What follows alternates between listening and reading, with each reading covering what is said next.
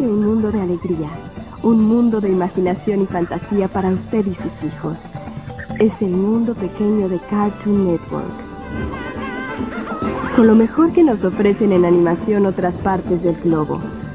Gente, lugares, historias de nuestro planeta para el deleite de toda la familia.